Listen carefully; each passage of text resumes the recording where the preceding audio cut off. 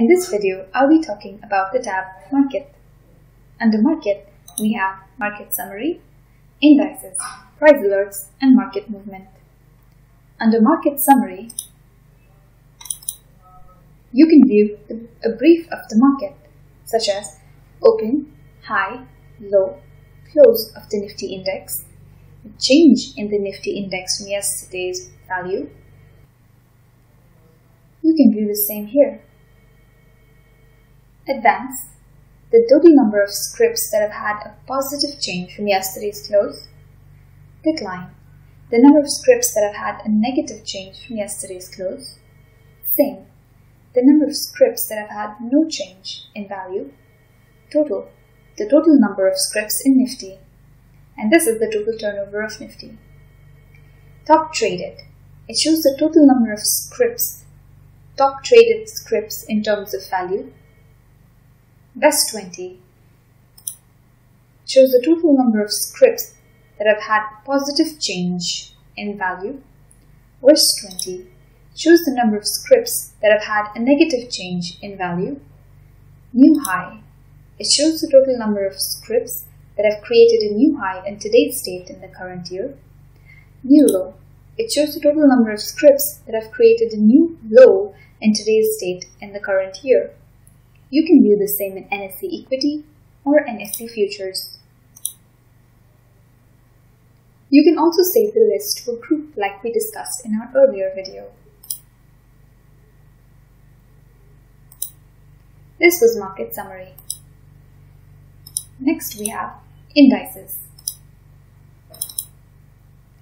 Indices shows a list of all the indices in the index, in the Nifty index. You can view a chart of anyone by double-clicking on it, like so. But more, more on charts in our next video.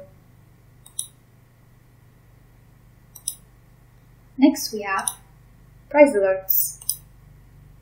Now it may not be possible to keep a track on price movement of all your favorite scripts, but this is where price alerts come in handy. Let me show you an example. I will select a script, such as Axis Bank. You can see that the price of Axis Bank has automatically been updated here.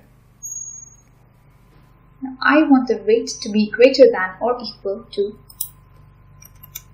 70, 470.05. My action is to buy, beep on alert, message,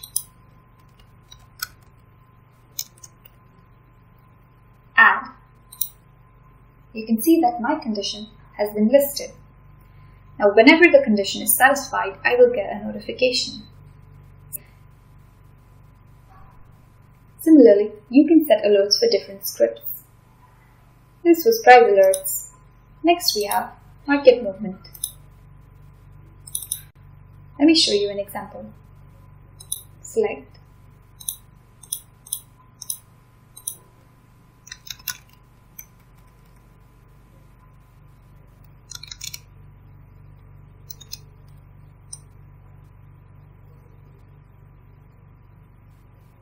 Tata.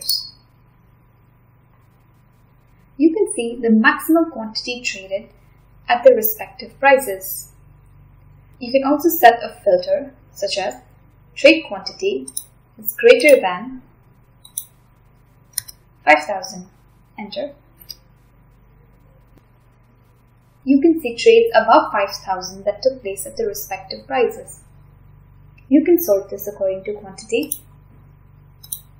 or close price. This is market movement.